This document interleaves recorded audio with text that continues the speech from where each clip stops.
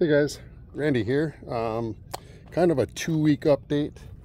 Uh, I was able to get a few things done today that I've been wanting to do for a while. Um, it was pretty nice to be able to do it and buy it, buy the stuff local too.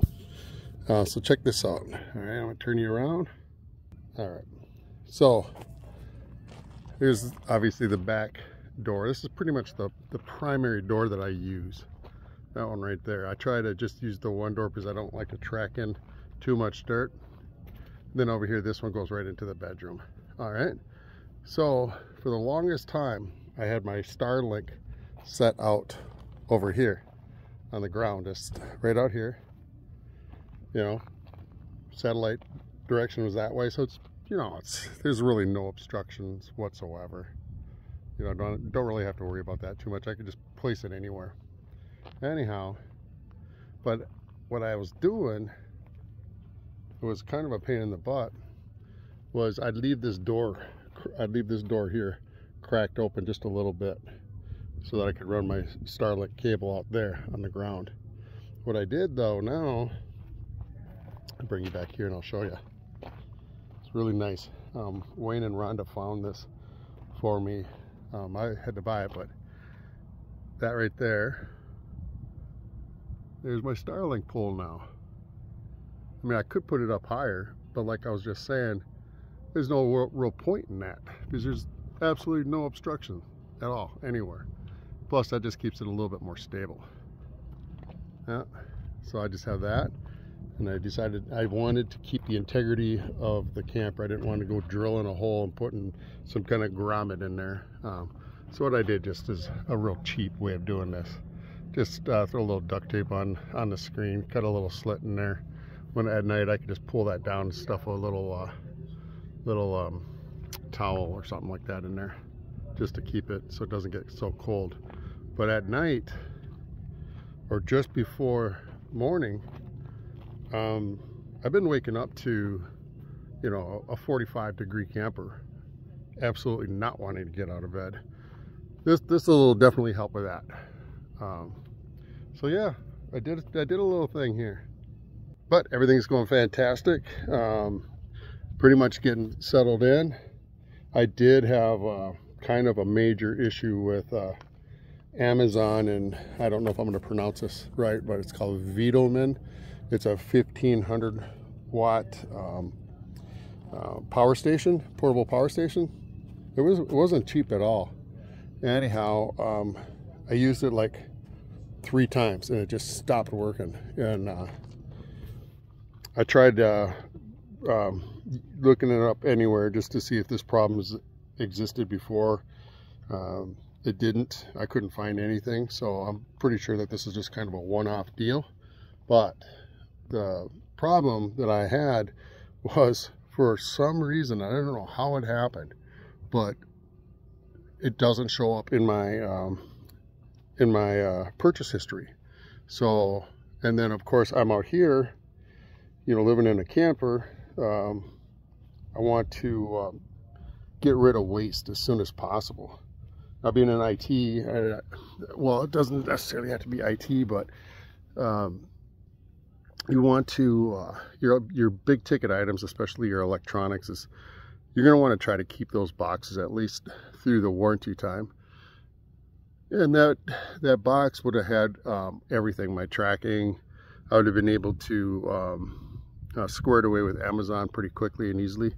Unfortunately, there was no history of it. Um, even my bank transaction, you know, it doesn't have like an Amazon purchase order number on it. It just has a transaction number. So it looks like I'm just SOL. That's the VTOMAN uh, Jump 1500X. If any of you guys know how to uh, do some troubleshooting with that, drop drop a link.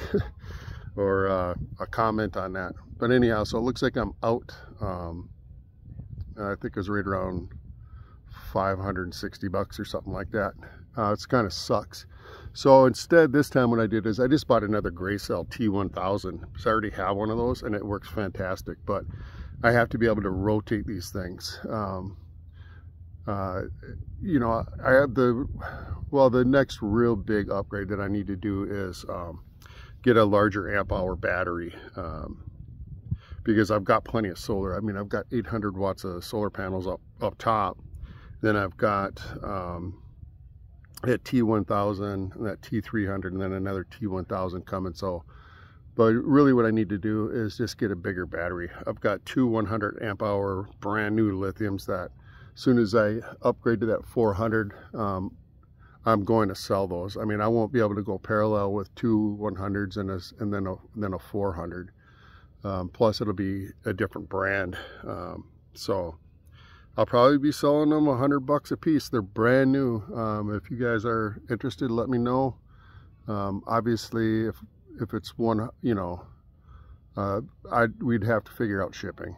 Um, but if you're if you're in and around La Posa or uh, Quartzsite anywhere, uh, they are literally brand new batteries, and I'll probably be doing that upgrade um, next month. Um, uh, but just that one battery, that 400 amp hour, I think it's a 410 or 407 or something like that. I can't remember. Um, it's a $1,500 battery, uh, but one single battery is double what, I, more than double what I got. And um, the total weight on that battery is only like 80 pounds. So it's actually the one, one of those is lighter than the two 100s that I have. But I'll also then need to um, get somebody that can um, fabricate a uh, uh, you know a box or a battery tray for it because it's it's the dimensions are entirely different. It's a lot longer, um, and I think the the width is the same, but it's a lot longer and whatnot. So I'm just going to have to figure that part of it out, um, and I'll just have some a, a local welder do that. And uh, yeah, um, so been still dealing with with you know solar and battery and whatnot last night I forgot the, um, I uh, didn't turn the uh, water heater off um, after my shower yesterday. And that I woke up this morning to um, my power alarm. If it gets down to a certain point, I think it's like 10.8 volts left and it just starts beeping and it starts shutting everything off and it preserves that last little bit of power for the uh, refrigerator.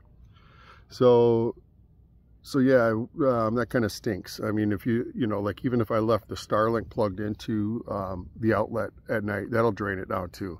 That's why I like having these T1000s or these little um, uh, portable power stations. Uh, this way I can, you know, if I want to like, you know, open up my laptop at night and watch a little YouTube or, or something, whatever, and then um, I don't have to really worry about it. Um, my uh, batteries, um, if I have everything shut off, um, everything will be just fine. But I definitely do want to upgrade that, um, the two 100s, you know, the battery bank, my, uh, my overall battery bank. I want to upgrade that. I want to double that just for peace of mind. You know, since I'm working uh, from the camper, I can't really have an excuse of uh, uh what's going on. Oh, I'm going to turn you around. You got to see this little hummingbird. See that guy?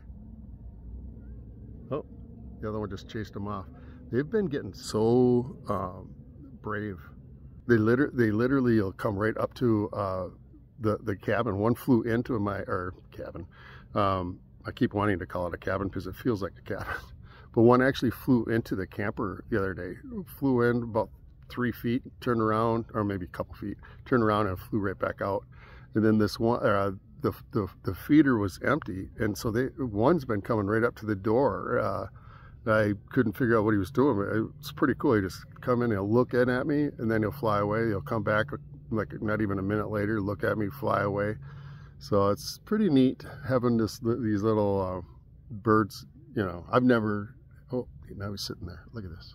Look at the lower left part of it. Let me try to zoom in. See that?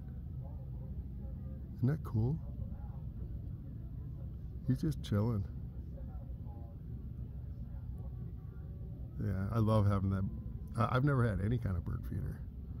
And as a matter of fact, um, uh, David over at Come On Mountain, um, he kind of gave me this idea, you know, from his videos.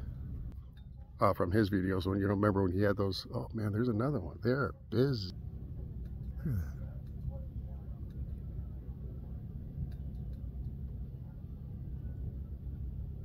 You know what's really surprising is how loud they they, they chirp for being so little. Like if you walk by close enough, they'll give you a little chirp. And uh, they'll startle you because you're just not expecting it. Anyhow, anyhow, that's my entertainment.